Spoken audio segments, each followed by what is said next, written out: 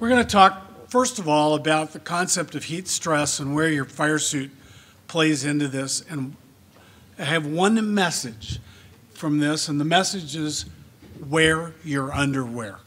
So, why do you wear it? Prevents chafing, protects you from the elements, but the real element is fire. And you heard a great deal about fire in the past. Well, un- unfortunately, fire has not gone away. We still burn fuel, and the the word there is burn, and fuel makes fire.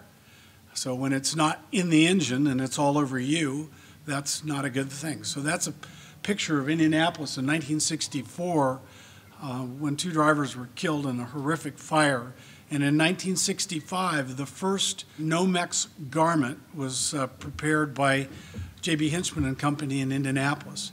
Uh, that was the first use of DuPont's new fabric, Nomex in a racing situation. The idea of your fire suit, of course, is to protect you from the fire. But at the same time, you'd like for it to be reasonably comfortable. And one of the biggest issues right now is the balance between thermal protection, a fire suit, and prevention of heat stress, which is heat buildup and causing your core temperature to go up.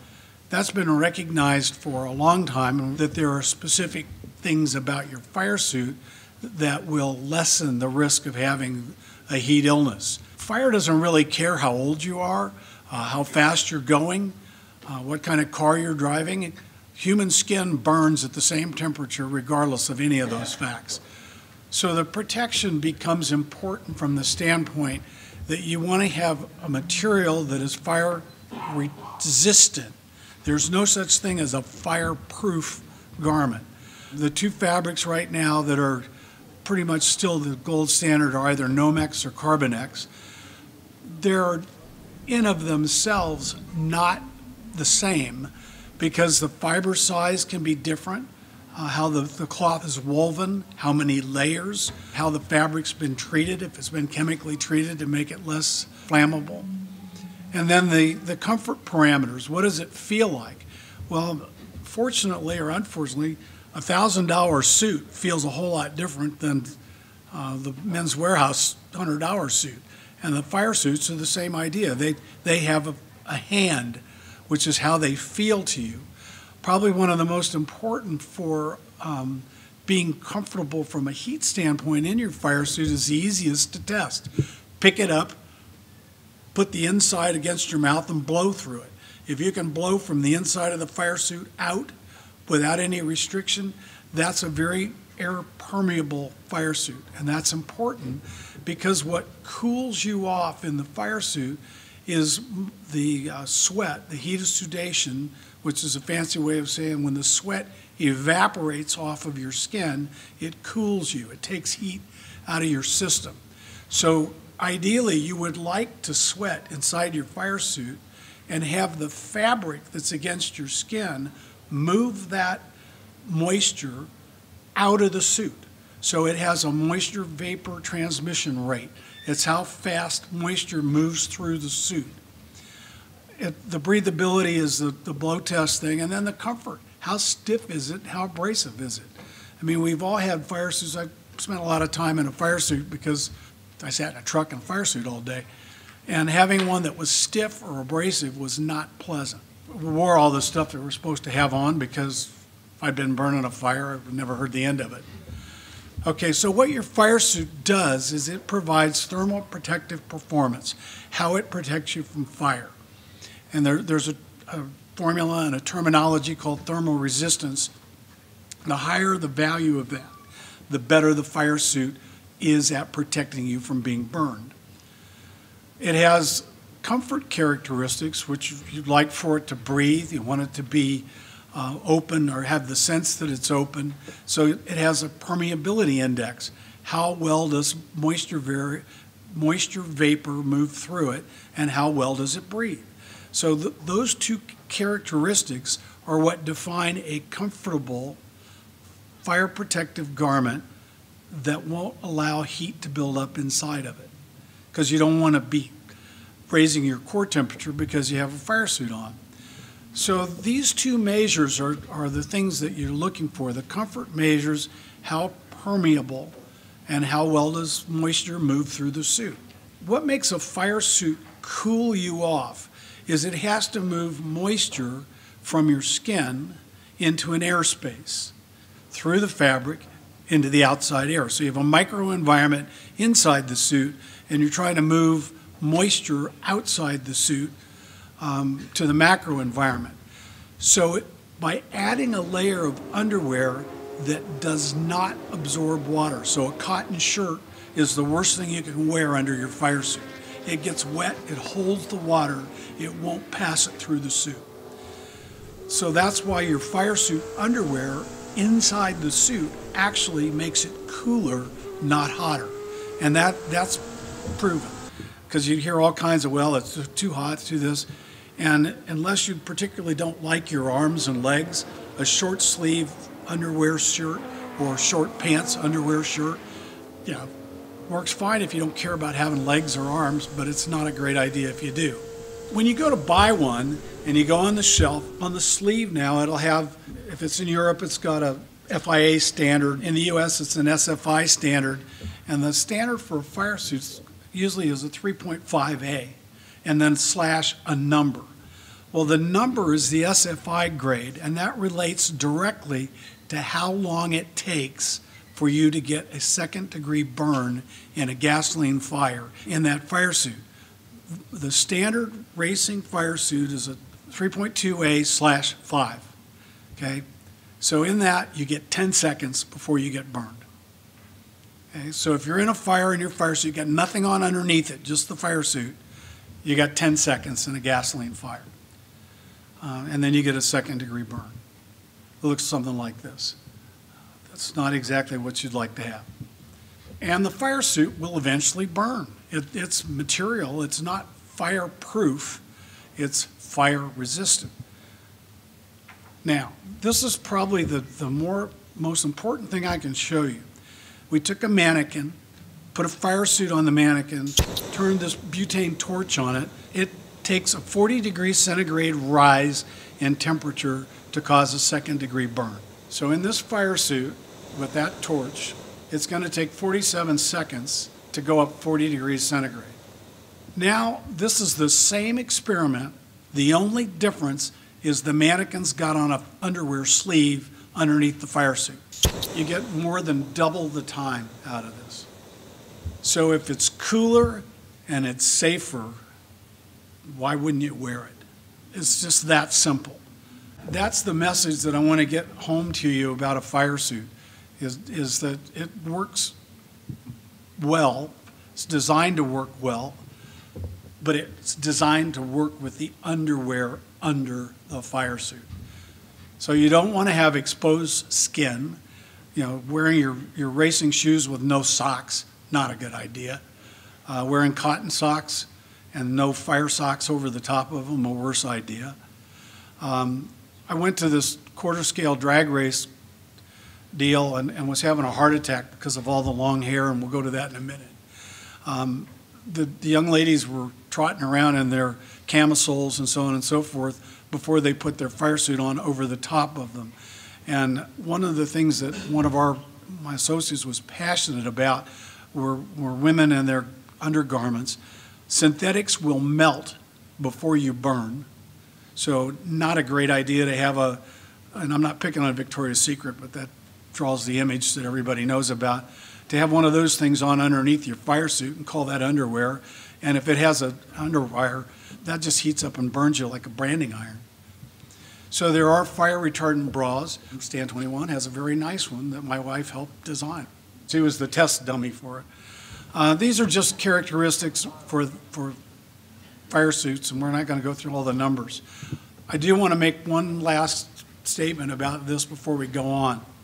If you have long hair, guy or girl, doesn't matter. We had a guy that had really nice blonde hair that the girls all loved, um, shoulder length.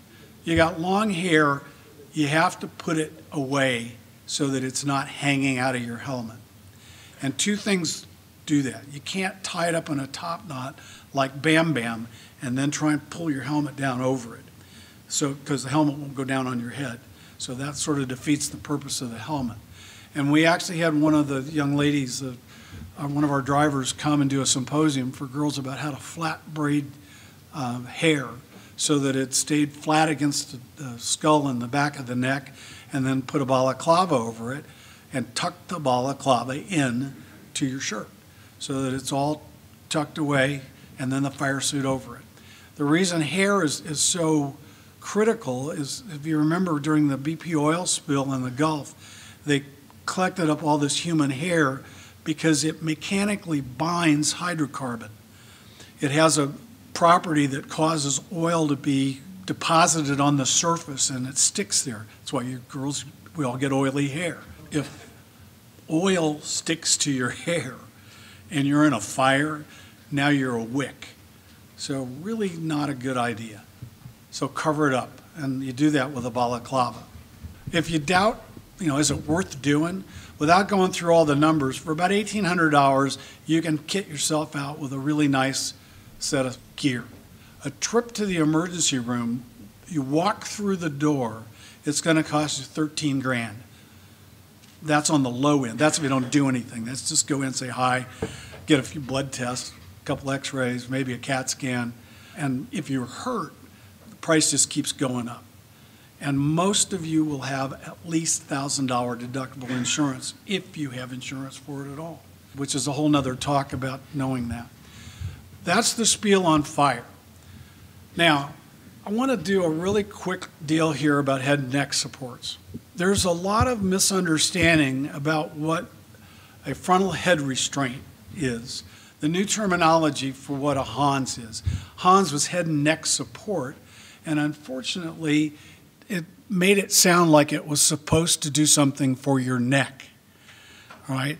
So, we're going to talk very briefly about what a frontal head restraint accomplishes. That's what a Hans is. There's a area at the base of your brain called the atlanto-occipital junction. It's where your neck fastens to your head. It, it's all ligamentous. There's no bony attachment. Your, your head is a ball on a stick. Your neck's the stick, your head's the ball. And it's held on by rubber bands, basically. And in a injury that causes your head to be accelerated, or a phenomenon that causes your head to be accelerated faster than the rest of you, uh, or than your neck, it literally pulls your head off. That's what a basilar skull fracture is. The ligaments pull the bottom of the skull off. It's usually fatal. There are two ways you can get a basilar skull fracture, and before motorsports, most everybody thought it was because you ran into something with your head and it pushed the head down on the neck. And it wasn't until we started seeing distractive basilar skull fractures in motorsports that this became a textbook description. And it actually was in John Melvin's book. The second edition of his book is a paragraph about distractive basilar skull fractures in motorsports. And that's you know the five NASCAR drivers that, that died, including Dale Earnhardt, from a distractive basilar skull fracture. Uh, we've had three IndyCar drivers that died as a result of a distractive basilar skull fracture. And this is what happens, and this is as simple as it gets. If your head is an olive and your neck is a toothpick, and you suddenly stop the acceleration of the toothpick, your neck, with your head attached to it, your head flies off. Okay, what do you do to stop that? Really simple. You get a surgeon to put a stitch through your ears and tie it to the stick. That would be a Hans, right? It doesn't come off anymore. That's all you really need to know about a Hans. We're going to say this another 10 different ways. But this is what causes a distractive um, basilar skull fracture. This car goes off the track. That's, you know, the Indy car is 16 feet long. That fence is 18 feet high. And it, it basically never touched the fence. It didn't break the fence. Car comes over, lands upside down. The white thing's the helmet, helmeted head, like a bell clapper. The driver was dead before he ever crossed the wall. He died when the car nosed into the tires, and it, it started in the, the uh, pole vault mode because his harness held him, but it didn't hold his head and neck. So it, it basically avulsed his head. He had an internal decapitation. He was dead when I got to the car, and I was on the other side of the track. I saw that happen. That was pre-Hans, no Hans. And actually, uh, General Motors did an analysis for us on that accident uh, to say whether or not the Hans would have altered the situation. And in a very politically correct manner, they provided the data and drew the conclusion that it had the potential to have altered the outcome. Uh, we know now that it was more than just potential. So that what the Hans or any frontal head restraint is designed to do is reduce the tension load on your neck. It's designed to prevent a basilar skull fracture.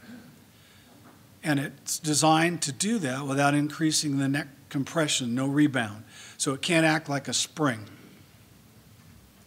It, it does do um, a number of things, and the numbers of how it does it are changing over time, have changed over time. But it's the Hans was the first. It set all the standards. Uh, all of the specifications were built off and built around the way the Hans functions, which was extensively tested. And this is just one of the, the early demonstrations of, of with and without a Hans. And this is when it was a big, used to be very large. And that's a 40 G deceleration. The head's accelerating at 40 Gs, and you can see the elongation. And that, to Danny Sullivan's comment, we'd see guys hit their head on the steering wheel all the time. Uh, and we couldn't figure out how on earth they got their neck all the way down to the steering wheel. Well, we learned you, you get about a four inch excursion, but first of all, your neck doesn't stretch that far, the seat belts do. No matter how tight you put them, they're going to stretch, and they do stretch. Um, there's some capability for your neck to elongate, but not the length that you see here in these pictures. But this is pretty realistic. This is without a Hans, and this is with watch the, when it goes backwards, how, how much extension there is, versus with the Hans, it's a pretty straightforward back and forth. And this is looking down on the same thing, looking down on it from the front. There's the face plant into the steering wheel without the Hans, and he doesn't make it to the steering wheel with. So it functions to keep your head attached to your body. And these are the specifications for it. Now, there is something that's important. I'm going to skip through these. There's a list. You can go online and find the list of all the SFI 38.1 devices, and they all have to pass the same thing. They have to keep your head fastened to your torso. Um, and their modifications of the Hans, these are all the numbers. But what I want to get to is there has been some discussion about whether or not the Hans can cause or should it have prevented a neck injury. Okay? The Hans, the frontal head restraints are designed to hold your head on. They're not designed to prevent neck injury. So you can still have a broken neck and have a Hans on. And it's happened on a, a few occasions. We think it, prevents a number of injuries that were more catastrophic than what we're seeing or have seen in the past. You know, knock on wood, in IndyCar, we've not had a, a cervical fracture 2007? I Can't remember when Pippa, but it was a very minor one. It had to do with somebody altered the, the head surround in the car. But the combination of the frontal head restraint and our head surround limits neck motion so much that it's unusual uh, to see a, an injury. Now, one of the things that was worrisome is it was thought that the load path was such that it was moving um, the load into the upper back, and you saw people with, with uh, sort of upper thoracic fractures. And we looked at a number of uh, injury scenarios, people with fractures, and came to the conclusion, really with a pretty wide base, that there's no device uh, that's 38.1 compatible that has ever been implicated as having caused or contributed to a spinal fracture or dislocation. And, and that's an important point. There are some other devices that um, are being studied but haven't been proven. There's laboratory evidence to show that, that fractures like this can occur whether or not you have a Hans on. This, this is in a driver that had a Hans on. The white, the lighter coloration is those are broken vertebra, and then this one over here, but this was with no Hans. And they're very similar, the, the mechanisms, and this is just more of the same. This is a football player that ran into something with a helmeted head and had uh, those fractures. That's an ATV drive, driver with a helmet, helmet on that had an impact on a tree, and, and that's a fracture. None of these have anything to do with the Hans. However, they're similar types of fractures as seen in wearers of frontal head restraints. The point of this is the head restraints got nothing to do with the fracture. It's going to happen anyway. And it, it happens for a variety of reasons, and we've studied those at length. Um, but I'm here to tell you, and I, I can go through with you privately if you want, they do not cause neck or upper back fractures in of themselves. And that's the message, and that's really all there is to it.